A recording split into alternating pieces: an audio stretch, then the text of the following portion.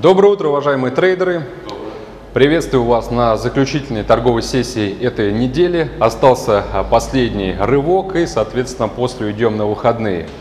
Э, неделя, пятидневка оказалась весьма насыщенная с точки зрения э, экономического календаря. Событий было много, волатильности просто зашкаливает. Разумеется, нужно в спокойной обстановке еще раз э, переварить все то наследие, с которым мы переходим на следующую неделю. Потому что в понедельник, разумеется, мы снова вернемся к финансовым рынкам, посмотрим, что нас ждет. Может быть, проведем кое-какое перепозиционирование по ряду активов. Ну а пока давайте все-таки соберемся силами и доторгуем до конца а, этот заключительный день недели. Разумеется, в ходе брифинга, как и всегда, обозначу кодовое слово. Это Э, то слово, которое позволит вам получить бонус на пополнение, плюс к тем акциям, которые действуют в рамках нашей компании. Э, это кодовое слово будет произнесено либо в середине, либо ближе к концу э, брифинга. Сегодня величина бонуса 5% и традиционно в пятницу кодовое слово действует до понедельника. То есть, если обычно это сутки, то сейчас у вас по сути будет 3 дня, чтобы принять решение о повышении покупательской способности ваших депозитов. Еще раз напоминаю и не устаю это делать, поскольку на столь волатильной среде, разумеется, э, дополнительные капиталы – это сейчас, э, скажем, как бальзам на душу, потому что э, идеи, может быть, и с точки зрения фундамента вполне обоснованы, логичны и, соответственно, верны, но прежде чем рынок скажем, начинает придерживаться логики, следовать, скажем, более приемлемым и э, оптимальным эм, и, э, соответственно, обоснованным движением, разумеется, может э, быть и локальная просадка, которую, разумеется, также нужно пересиживать. Начать предлагаю сегодня с наших привычных активов. Это нефть и российская валюта. Не будем изменять сценарий, потому что знаю, что многих трейдеров прежде всего интересует именно рубль сейчас с, разумеется, нефтью. Что мы видим сейчас по бренду? Мы видим то, что актуальные котировки 46 долларов за баррель. Видели то, что за последнюю неделю, а, по сути, нефть потеряла еще практически 10% ну, практически. А в целом коррекционный э, потенциал сохраняется, он по-прежнему велик. Бренд WTI э, смещаются э, в сторону своих новых многолетних минимумов. Если еще несколько дней назад мы увидели, как держался уровень 48, потом он также очень соответственно, легко сдал позиции активным медведям, которые толкнули рынок ниже даже 47,50, потом 47, потом 46,50, и вот сейчас фактически актуальная котировка 46. Такая стабильность, конечно же, может для тех, кто делает ставку на коррекцию, это, конечно же, позитивный фактор, потому что действительно каждая идея, каждая сделка – это э, беспроигрышный расчет. 46, э, точнее мы даже ставили, напомню, несколько недель назад в качестве цели 47-46, сейчас э, Э, учитывая актуальные цены, можно сказать, что эта цель реализована, но э, поскольку фон не меняется, поскольку по-прежнему фундаментальное э, давление остается свойственным для этого актива, я считаю то, что можно даже смело ставить новые цели, разумеется, пониже текущих значений, и также смело вместе с рынком, вместе с реализацией коррекционного потенциала по нефти двигаться к этим рубежам.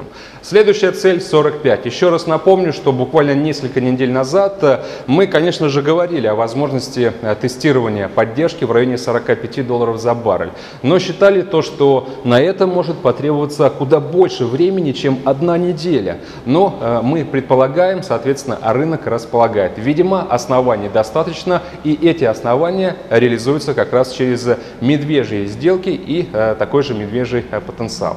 45 делаем ставку, соответственно, на бренд. Если за последние сутки интересные, скажем, факторы, которые могут, наверное, еще больше усилить наше э, правильное представление о будущем нефти. Но ну, в качестве такового, э, разумеется, стоит отметить в качестве таковых э, это, во-первых, ту коррекционную динамику, которая сейчас характерна буквально для всего мирового фондового рынка. Последние торговые сессии – это один сплошной негатив, когда индексы теряют по несколько процентов буквально за один день. Такого мы не видели, разумеется, уже давно. И а, причина как раз охлаждения мировой экономики, причина развязанные революционные а, войны национальных мегарегуляторов, валютные войны и неизвестность того, что же будет дальше, потому что Китай, который, по сути, является триггером с точки зрения, даже катализатором, наверное, так будет правильнее сказать, потенциальных темпов восстановления мировой экономики сейчас э, продолжает переживать э, не самые лучшие времена. Посмотрим, к примеру, за одним из э, барометров китайского фондового рынка, это композитный индекс. Напомню, что во вторник этот актив просел больше, чем на 6%. В среду мы увидели прямо на азиатской торговой сессии то, что он потерял еще там больше 3%. Правда, к концу торговой сессии индексу удалось отбить потери и выбраться даже в незначительный прирост. И вот сейчас на азиатской торговой сессии мы снова видим то, что композитный индекс э, Шанхая теряет уже больше 1%. А, соответственно, можно говорить, что потери для китайского фондового рынка, исходя из этого показателя, составили практически за неделю 10%. Это, мягко говоря, еще одно подтверждение схлопнувшегося а, финансового фондового а, пузыря. И это, между прочим, не первый раз, скажем, на не первый раз, э, что мы видим на китайском фондовом рынке за последние несколько недель. По-прежнему э, Китай – это тема номер один, особенно после того, как э, Народный банк Китая девальвировал национальную валюту, и все, конечно же, задумались касательно того, что же все-таки дальше ожидать, опять же, в качестве следствия и транслирования потенциальных рисков на другие мировые экономики, что дальше ожидать от действий ЦБ, от ФРС, от Европейского центрального банка, от других мегарегуляторов, потому что если мы увидим э, действительно факт подтверждения переброса этих дефляционных рисков на другие площадки, значит, может быть, это э, станет основанием для слома э, прежней такой парадигмы монетарного курса и прежних механизмов. Но прежде чем говорить по факту об этом, а я предпочитаю делать именно так, все-таки давайте пока понаблюдаем ситуацию, есть определенные позитивные предпосылки, а, связанные с тем, что Народный банк Китая ну, просто ну, не может пустить все на самотек и, а, может быть, э, предпримет достаточно усилий для того, чтобы стабилизировать экономическую ситуацию, повысить э, устойчивость финансового сектора Китая, что может, э, соответственно, успокоить рынки, позволить им снизить обороты волатильности и вернуться к более такому размеренному, привычному, фундаментальному руслу, которое мы закладываем в наши позиционные долгосрочные идеи. А, поэтому, говоря про нефть, э, еще раз э, отмечу, что цели у нас исключительно направлены на еще большую просадку. Дальнейший ориентир, давайте 45-50, 45. Э, не удивлюсь, если уже до конца сегодняшнего дня, особенно активность, с которой нефть теряет позиции в последние дни, может оказаться даже рядом с этой отметкой до закрытия сегодняшней торговой сессии. Хотя есть такой, скажем, нюанс, как фактор пятницы, эффект пятницы. Он связан с тем, что к этому дню обычно трейдеры э, подходят э, с осознанием того, что пора отдыхать, уходить на выходные и, э, скажем, дополнительно анализирует тот результат, который был достигнут в ходе э, пятидневки. И если действительно профит уже неплохой, э, разумеется, бывает логичным, правильным и также обоснованным просто пофиксить э, тот результат, который уже достигнут. Поэтому в пятницу мы зачастую видим обратные тренды, в частности, к примеру, закрытие коротких сделок профитных по нефти может стать причиной такого технического выброса наверх. Такой сценарий также возможен. Но поскольку мы делаем, опять же, позиционную картину, описываем и анализируем с точки зрения э, такого долга и среднесрочного фона, я считаю то, что э, скорее всего вот этот э, уровень, психологический рубеж вслед за полтинником уже на 45, он в принципе, может быть потестирован этим активом в самое ближайшее время. Может быть уже сегодня, а может быть уже в начале следующей недели. Что касается Российской валюты здесь наша цель также реализована. Еще э, рубль против э, американца, простите за тавтологию, потерял еще один рубль по итогам последней торговой сессии. И поскольку мы уже делаем, точнее продолжаем делать ставку на еще большее снижение нефти, разумеется, уже совсем недалеко, в буквальном смысле рукой подать до очень важного уровня, по сути, февральского, одного из февральских хаев, это 70 рублей против доллара. Э, уже пришли к выводу, что Центральный банк э, находится в стороне, не вмешивается в э, текущую ситуацию на российском валютном рынке. И я думаю, что вряд ли, скажем, Центральный банк действительно вступит в игру до какого-то психологического уровня. Ну, хочется надеяться, что это 70. Может быть, даже это, опять же, преждевременное заблуждение. 65 это был уровень бездействия, может быть, 70 это также Центральный банк будет окурить в стороне дальше рубль пойдет на 75-80, ну остается только гадать. Конечно же, все будет зависеть от динамики нефти. Если Центральный банк начнет задействовать те инструменты, которые есть в, в арсенале, чтобы снизить давление на российскую валюту. Э, я думаю, что, э, как ни крути, при всем э, потенциале и возможностях ЦБ, если нефть продолжит сыпаться вниз, к сожалению, наверное, бороться с снижением стоимости главного экспортного российского товара будет попросту невозможно. Но э, это негативный сценарий. Хотелось бы, конечно же, увидеть э, какой-то именно сакральный уровень, когда ЦБ выйдет на рынок, и при этом еще параллельно с запуском каких-то альтернативных инструментов поддержки рубля э, и нефть, может быть, нащупает свое локальное дно и сможет показать, скажем, отскок наверх, выше уровня там 47, 48, может быть, даже вернуться к 50 долларам за баррель. Но это очень оптимистичный сценарий сценарий. Э, может быть, э, спустя какое-то время мы э, обозначим его в качестве наших ориентиров, но пока, еще раз повторяюсь, работаем с фактами и с действительностью.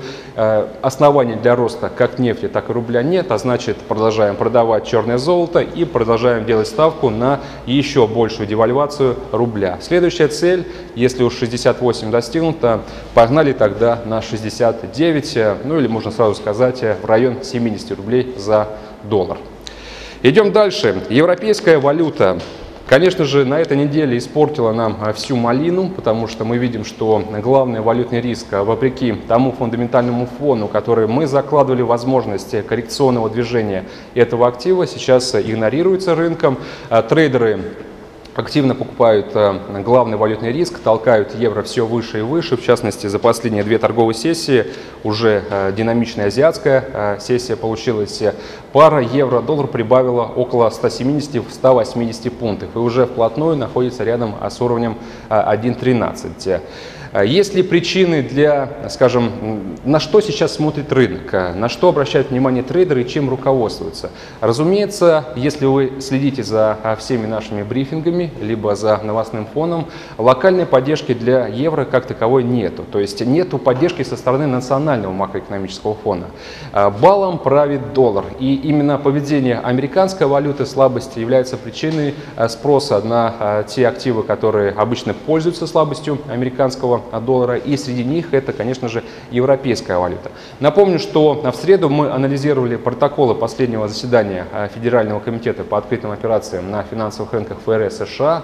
Протоколы, как ожидалось, э, точнее, вопреки ожиданиям, не смогли э, добавить конкретики по срокам повышения процентной ставки. Мы не услышали даже намеков на то, что собираются, скажем, добавить Э, собираются скорректировать монетарные курсы, монетарную э, политику. То есть э, протоколы, по сути, были безыдейными для рынка, потому что по-прежнему самый важный вопрос касательно нормализации сроков нормализации денежно-кредитной политики, это вопрос, который остался в подвешенном состоянии, то есть неразрешенным. Самое важное, что нужно было уяснить для себя по факту протоколов, так это тот факт, что ФРС не стал исключать возможности повышения процентной ставки в сентябре. В принципе, можно даже сказать, что о сроках вообще не говорили. Не сказали, когда это произойдет, и не сказали, что в ближайшее время э, этого точно не стоит ожидать. Поэтому, в принципе, наша идея, которая касается фокусирования на возможном росте американской валюты по причине уже совсем, э, возможно, скорого решения по повышению процентной ставки, она остается э, актуальна. Посмотрим на последний фундаментальный фон, характерный для Э, американской экономики. Это данные по рынку труда и рынку э, недвижимости. По рынку недвижимости, в частности, можно э, привести в доказательство восстановления сектора еще и вчерашний отчет. Напомню, что продажи жилья выросли на 2% в месячном эквиваленте против прогноза снижения на 0,6%. Очевидный прогресс. Давайте вспомним те данные, которые мы анализировали на прошлой и в начале этой недели по рынку недвижимости, кстати. Это продажи на на вторичном рынке максимум за последние 8 лет. Это индекс доверия к рынку недвижимости со стороны американских потребителей максимум за 10 лет. Число закладки новых фундаментов также э, хороший показатель даже, скажем, в перспективе не последних э, нескольких э, месяцев, а хороший показатель за несколько лет. Также хай за 7-8 лет. То есть еще один длительный э, период, который, в принципе, позволяет нам на фоне этих данных делать вывод о том, что американский рынок недвижимости э, полностью восстановился э, после кризисных 2008-2009 годов. И сейчас чувствует себя очень неплохо. Каждый отчет – это, по сути, фактор подтверждения сохраняющейся восстановительной тенденции. Идем дальше. Рынок труда. Вчера были опубликованы данные по росту числа заявок на пособие по безработице. Традиционный отчет четверга, который позволяет нам оценить э, возможности в целом экономики Америки по снижению э, общего показателя безработицы. Мы знаем то, что на текущий момент общая э, ставка безработицы составляет 5,3%, но на фоне того, что мы видим по заявкам на пособие по безработице, уже, наверное, за 20 неделю подряд мы наблюдаем отчет ниже 300 тысяч. В частности, вчерашний 277 тысяч против прогноза 272. Еще раз напоминаю, что если отчет ниже 300 тысяч, значит смело можно говорить о том, что можно смело закрывать закрывать глаза на фактическую цифру, зная, что а, в целом очевидна тенденция а, восстановления, что приближает, опять же, целевой показатель по рынку а, труда к тому параметру, который закладывался, скажем, в основу деятельности касательно улучшения экономики со стороны ФРС. Это показатель в 5%. Осталось э, снизить э, безработицу на 0,3%, но с учетом такой динамики рынка труда, я считаю то, что на это потребуется еще максимум 2 месяца. То есть как раз к концу 2015 года мы уже наверняка подойдем вместе с американской экономикой с констатацией очевидного прогресса и на рынке труда. Еще одним камнем преткновения, точнее единственным единственным, наверное, после улучшения ситуации э, по э, секторам, которые я сейчас проанализировал, является еще низкая инфляция. Э, в ходе протоколов представители обозначили действительно риски того, что этот показатель находится под давлением, но буквально за несколько часов до протоколов, напомню, что мы анализировали данные по индексу потребительских цен.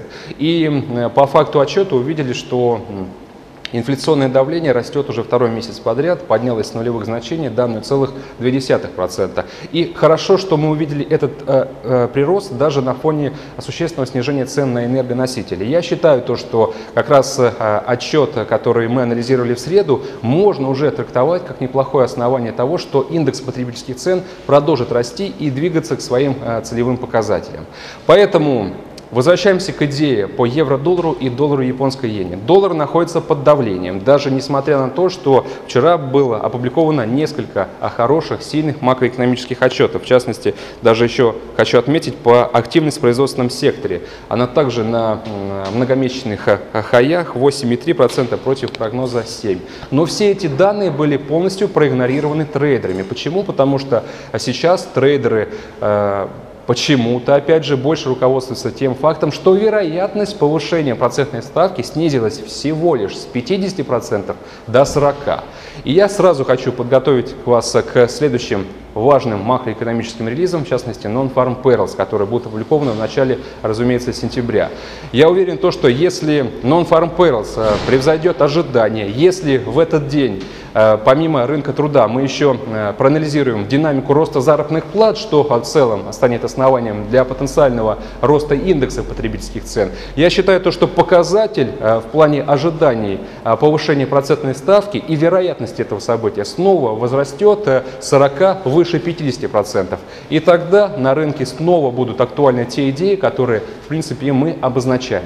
Поэтому вчерашний, позавчерашний, да и последний рост евро-доллара, который мы наблюдаем, э, связан с тем, что э, трейдеры и инвесторы, может быть, э, перемудрили с теми тенденциями, которые сейчас есть. И если кто-то подключается к длинным сделкам по евро-доллару сейчас, это может быть скажем, может обернуться значительными потерями, если э, после актуализации фона возможности дополнительных мер экономического стимулирования со стороны ЕЦБ и повышенных э, спекуляциях на тему повышения процентной ставки, доллар снова начнет набирать обороты и отбивать э, утраченные пункты против всех основных конкурентов. Тогда коррекция пойдет существенной.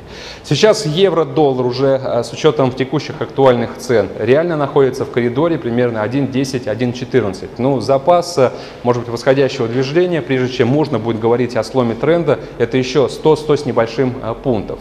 Но оснований, точнее поддержки для сохранения вот этого бычьего ралли по-прежнему нет.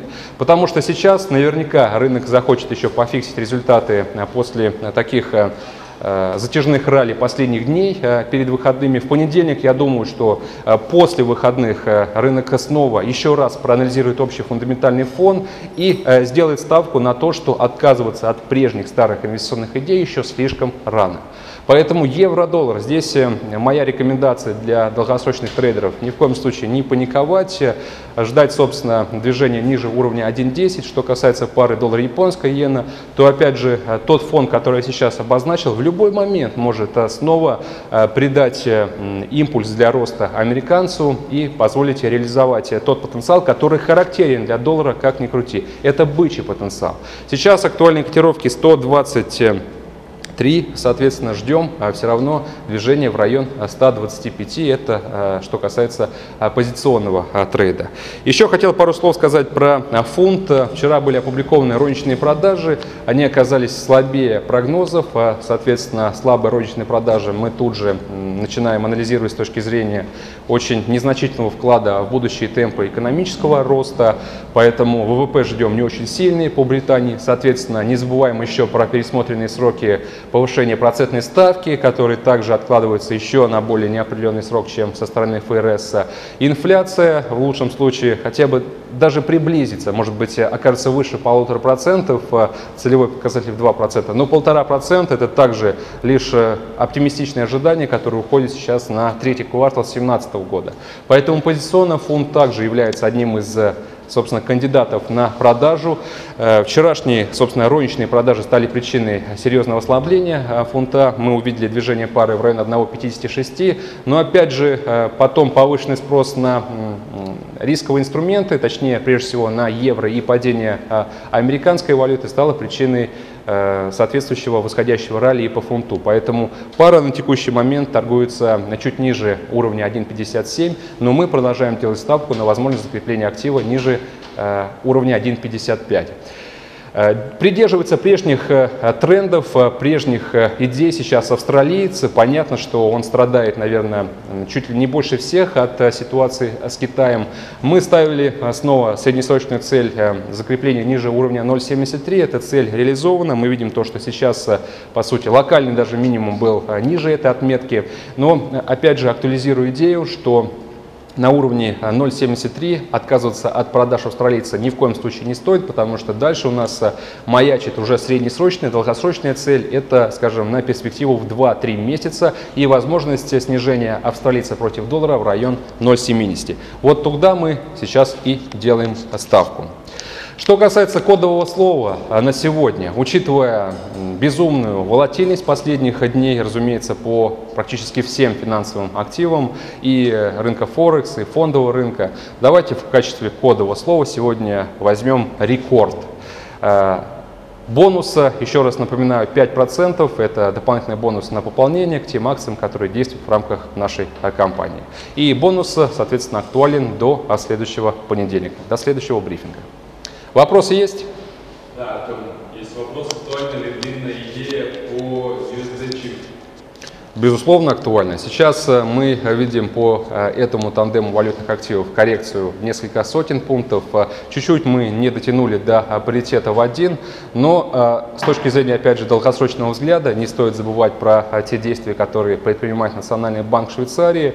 Разумеется, пытаясь ослабить курс национальной валюты для того, чтобы поддержать производителей э, в стране. И что касается доллара, я думаю, что все уже прекрасно поняли, отказываться от длинной идеи по американской валюте мы не собираемся. А значит, что касается прежних ориентиров, это те же самые актуальные идеи. Ждем паритета, может быть на это понадобится теперь чуть больше времени, но я думаю, что до конца этого года, а может быть даже и в перспективе двух-трех месяцев мы сможем достигнуть этого очень важного рубежа.